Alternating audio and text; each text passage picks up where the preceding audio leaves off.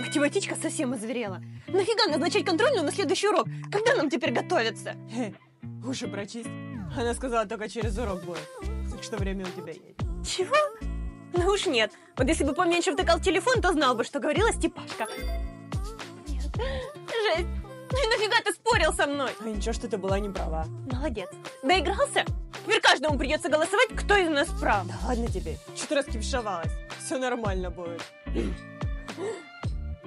Ты первый. Давай ты. О, Ань, ну наконец-то.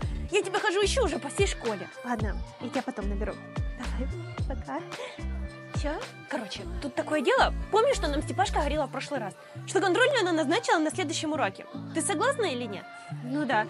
Я сама в шоке была тогда. Они, походу, с физруком до числа пи так и не дошли. Ань, ну конечно же за. Отлично. Спасибо. Ладно, увидимся. Удачи. А, Степана, подождите. А, извините, Лидия Мария. Степановна, я тут это, как раз вас искала. Чего тебе?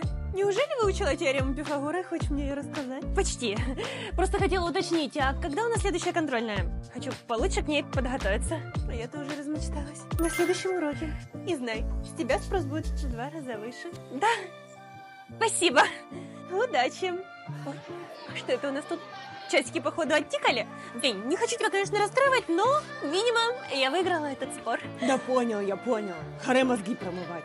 Выиграла ты. Мария, поздравляем тебя. Ты стала победительницей. А вот Дэна нам придется наказать. Он будет ликвидирован. Нет, этого не может быть.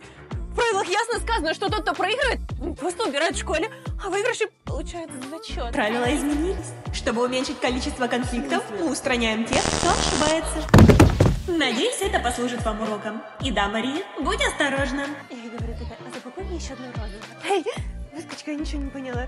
Ты что, не видишь, куда прешь? Глаза разве у тебя все нормально? Нет, я просто до сих пор в шоке, не могу понять, как такое могло быть. Понимаешь, у нас был спор с Дэнни, и вместо того, чтобы его заставить просто убирать в школе, его устранили. Ты слышала? Что за бред вообще ты несешь? Этого быть не может. Скажи прямо, просто захотела повыделаться на фоне Дэнни, который проиграл. Кир, ты что, не понимаешь? Я тебе только что сказала, система изменила правила, теперь все по-другому. Нет, этого быть не может. Внимание, спор активирован. Я надеюсь, понимаешь, что тебе никто даже не поверит. И да, если вдруг тебя устранят, поверь, мы не расстроимся. Этого просто никто не заметит. Пойдем. Мы еще посмотрим, кто из нас прав.